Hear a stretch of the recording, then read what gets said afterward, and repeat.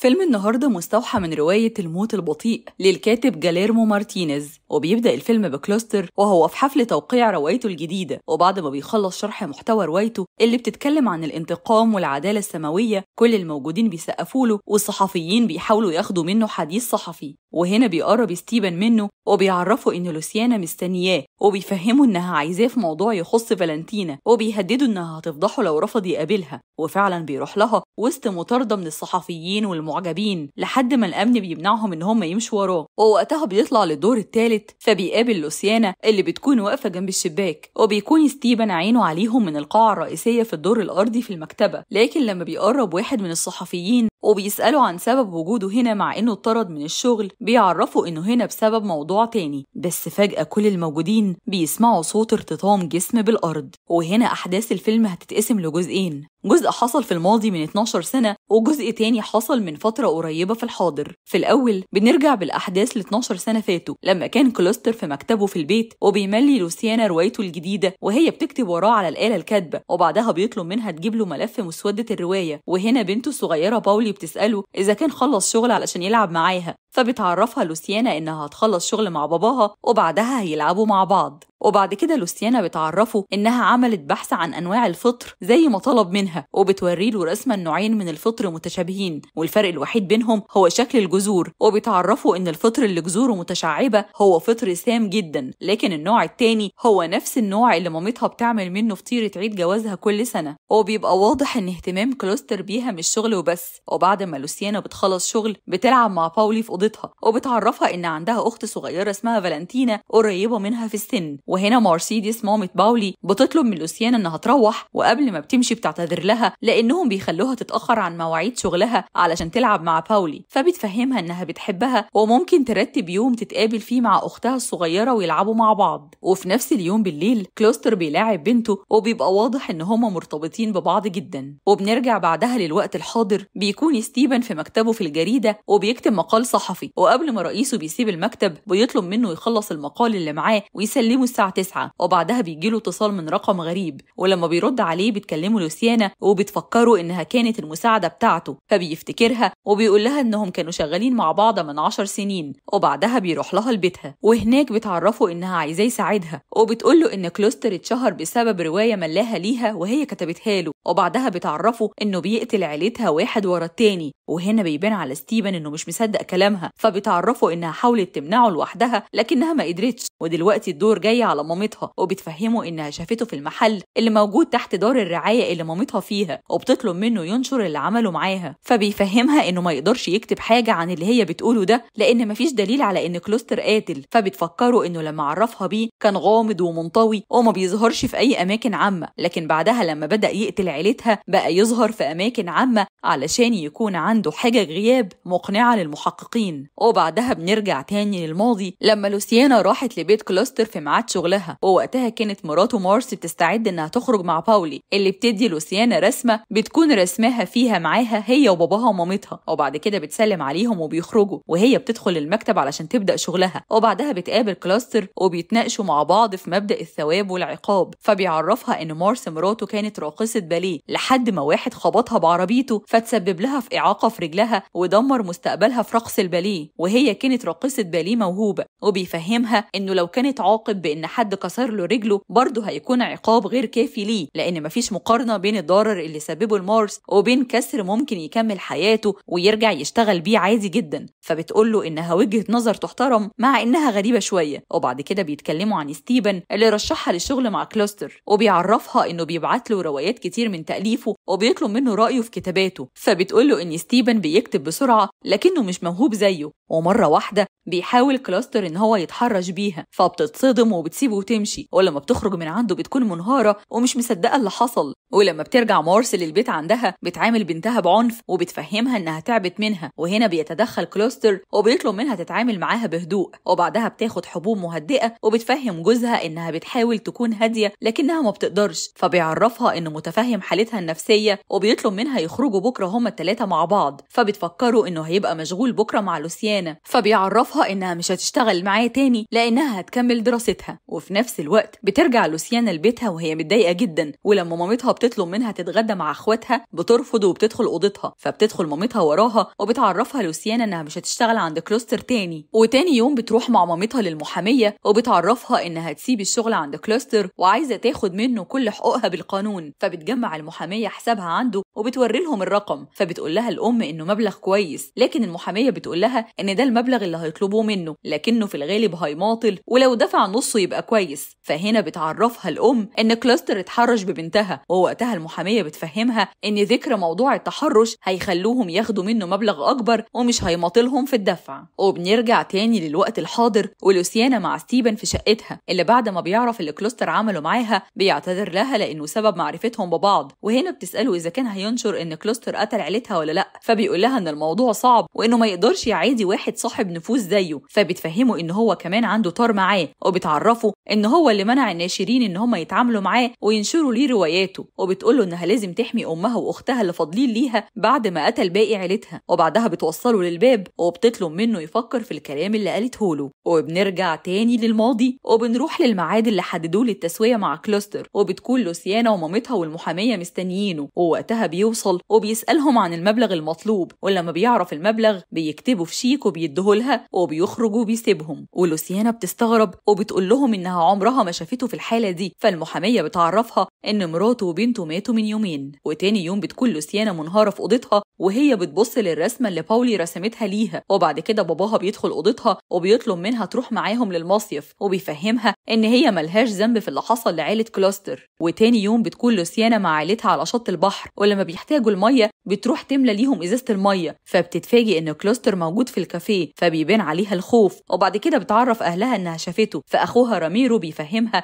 إن واحد زي كلوستر مش هيصيف في مكان زي ده وإنه يقدر بفلوسه يروح لجزر الكاريبي. فبتعرفه إنها قالت له إنهم عندهم بيت هنا وهو أكيد جاي وراها. فبتقول لها مامتها إن مفيش سبب يخليه يعمل كده خصوصا إنها مرضتش تصرف الشيك لأنه صعب عليها. وتاني يوم بتكون لوسيانا مع أختها الصغيرة على الشط فبتحصل عاصفة شديدة. فبتاخد أختها وبتدخل الكافيتيريا. ووقتها باباها بيسألها عن أخوها راميرو اللي بيشتغل حارس إنقاذ. فبتعرفه إنها ما شافتهوش على الشط بس للأسف بيتفاجئوا بعدها إنه مات. ولوسيانا بتشوف كلوستر بين الناس اللي واقفين حواليه لكنه بيختفي بعدها. وبعد كده بتتم مراسم حرق التابوت بتاعه وبتكون لوسيانا منهارة جدا وباباها بيحاول يواسيها. وبعد كام يوم بتكتب جواب لكلوستر وبتبعته له وبنرجع تاني للحاضر بعد ما ستيفن بيخلص المقالة اللي كتب فيها كل حاجة لوسيانا حكتها له. وبيروح يقدم المقالة لرئيس التحرير اللي بيقول له إنه ما يقدرش ينشر الكلام ده. وبيفهمه إن الجورنال بقاله فترة بيحاول ياخد من كلوستر حديث وهو مش موافق. وهنا ستيفن بيسأله لو قدر ياخد حديث من كلوستر هينشر له المقال فبيقول له إنه وقتها هينزل صورة كلوستر على الغلاف ومقاله هيتنشر. وبعدها بيتصل كامباري سكرتير كلوستر بستيفن اللي بيشكره لأنه اتصل بيه بعد الرسالة اللي سابها له. وبعدها بيطلب منه إنه يعمل مقابلة صحفية مع كلوستر ولما كامباري بيقول له إن كلوستر بيرفض إجراء أي مقابلات صحفية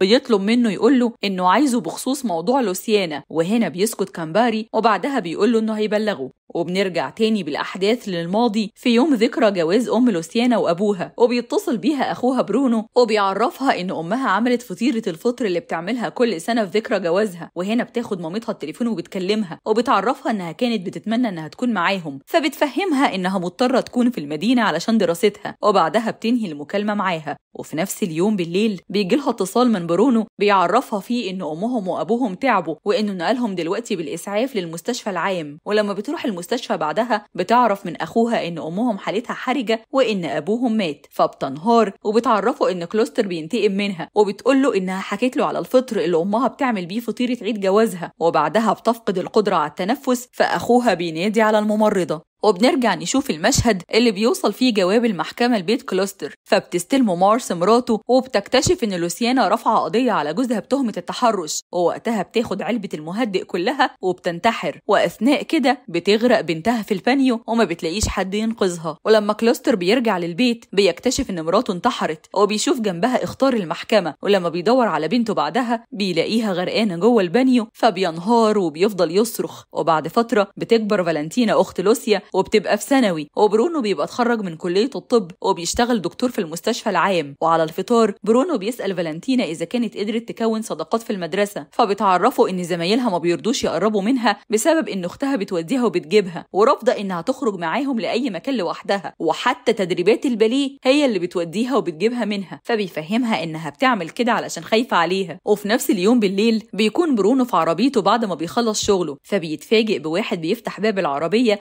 وبيطلعه منها وبينزل فيه ضرب وبيقول له أنا مراتي ليا أنا وبس وأنا شفت الرسائل الغرامية اللي أنت بعتها لها وبيحط له رسالة منهم جوه بقه وبيكمل ضرب فيه وبعدها بيوصل للمحقق رامو وبيكون برونو جثة جوه كيس الموتى جنب عربيته. ولما رامو بيبلغ لوسيانا إن أخوها كان في علاقة مع واحدة متجوزة وجوزها شاف رسالة من رسائل الحب اللي بعتها لها فقتله فبتفهمه إن أخوها ما كانش مرتبط بحد وإنه لو كان مرتبط كان أكيد هيعرفها. ولما بتسأله الرسائل دي كانت موقعة من برونو فبيقول لها لأ وبيفهمها إنه مستغرب لأن القاتل كان في السجن بيقضي عقوبة 25 سنة سجن بتهمة القتل العمد وبيقول لها إنه مش قادر يفهم هو هرب إزاي فبتعرفه لوسيانا إن كلوستر هو السبب في موت أخوها وده لأنه بيراسل السجناء من فترة كبيرة علشان ياخد منهم أفكار لرواياته. وبنرجع تاني للحاضر لما رئيس التحرير بيعرف ستيفن إن كلوستر حدد له ميعاد للمقابله ولما بيروح له بيخليه يقرأ المقال اللي كتبه عنه فبيعرفه إنه ملوش أي علاقة باهل لوسيانا اللي ماتوا وبيقول له إنه كان موجود في المدينة الساحلية اللي هي وأهلها بيصيفوا فيها لأنه حس إنه مش من العدل إن هو وبنته ومراته يموتوا بسببها وهي تروح تصيف. فتعمد إنها تشوفه علشان يفكرها باللي عملته وبيعرفه إنه لما أخوها مات حس إنها عدالة السما إن أخوها يغرق زي ما هو بنته غرقت. وبيفهمه إنه أكيد ما غرقش أخوها لأن أخوها كان منقذ بحري في العشرينات وهو راجل كبير. ولما ستيفن بيعرفه إنها صدفة غريبة إن أبوها يموت بنفس الطريقة اللي هو ذكرها في رواية من رواياته بيعرفه إن في آلاف من قراء قرأوا الرواية وممكن يكون أي واحد منهم هو اللي عمل كده. أما موت أخوها برونو ففي مجرم هو اللي عمل كده والشرطة مسكته خلاص وبيأكد له إنه فعلا بيراسل مساجين لكنه بيراسل معاهم قطاعات مختلفة من الناس. فبيقول له ستيفن مش غريبة إن الصدف الكتير دي كلها تتجمع مع بعض؟ فبيقول له إنها عدالة السماء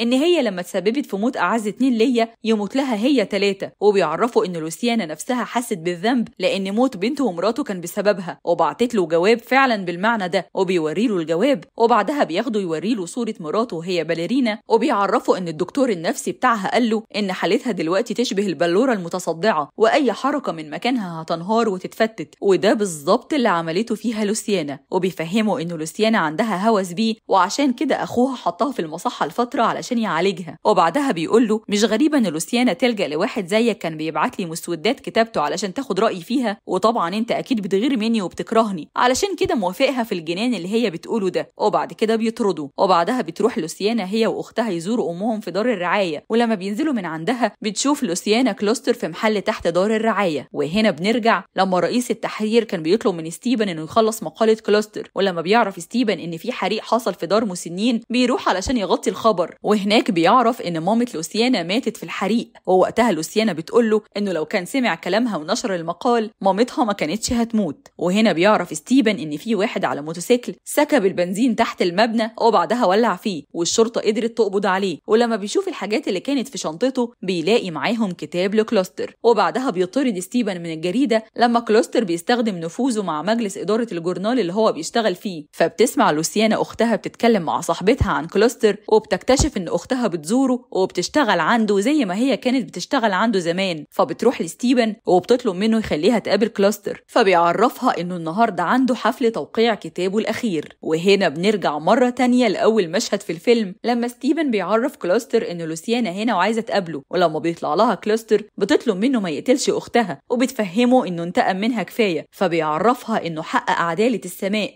فهي قتلت له بنته ومراته وهو قتل لها عيلتها. ولما بتسأله أعمل إيه علشان ما تأذيش أختي؟ بيقول لها الأمر يرجع لك وأنا أوعدك إني هسيبها عايشة ومش هأذيها. فبتقرر لوسيانا إنها تنط من الدور الثالث وبتنزل ميتة. ولما بيروح ستيفن يحضر مراسم الجنازة بيلاقي هناك كلوستر مع أختها. ولما كلوستر بيشوفه بيطلب من فالنتينا إنها تسيبهم لوحدهم. فبيقول له ستيفن أنا لحد دلوقتي مش قادر أحدد أنت قاتل وظالم ولا بريء ومظلوم. فبيعرفه إنه كان بيحقق عدالة السماء. ومفيش حد يقدر يثبت عليه حاجة. وبيفهمه إنه هيعيش مع فالنتينا. فبيقول له بس دي قاصر وأنت أكبر منها بكتير. فبيقول له إنها مش ممانعه فرق السن ده وإنها إنها تعويض ليا من عدالة السماء على حياتي اللي أنا خسرتها بسبب أختها. وبكده بيكون خلص فيلم النهارده. لو عجبك الملخص ما تنساش تعمل like و share و subscribe لقناة اليوتيوب ولصفحة الفيسبوك. ولو بتحب الملخصات الكوميدية تابعوني على قناة وصفحة مروة القاضي.